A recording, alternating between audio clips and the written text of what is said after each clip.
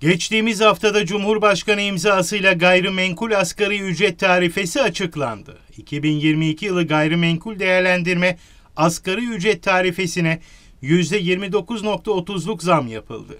Bu zam oranı ise gayrimenkul uzmanlarını memnun etmedi. Gayrimenkul değerlendirme uzmanları platformu da bir araya gelerek zam oranına tepki gösterdi. Platform adına konuşan Murat Taksim, yeniden düzenleme istediklerini söyledi. Gayrimenkul değerleme sektörü içerisinde hizmet veren kadrolu ve sözleşmeli uzmanlar olarak bizlerin de barınma, beslenme, eğitim, sağlık ve benzeri yaşamsal giderlerin de ciddi boyutlarda artışlar meydana gelmiş olup aldığımız ücretlerle asgari yaşamsal ihtiyaçlarımız dahi karşılamak imkansız hale gelmiştir.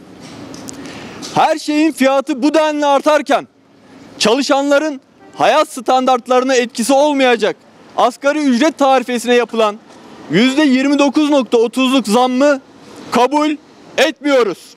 Taksim taleplerini sıraladı.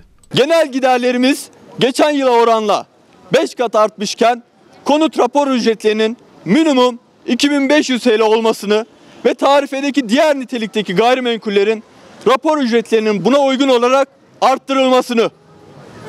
2.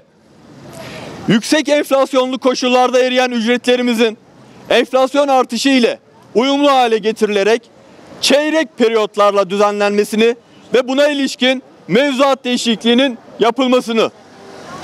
3. Yol ücretlerinin il ve mesafe kısıtlaması olmaksızın rapor ücretlerine ek olarak belirlenmesini talep ediyoruz.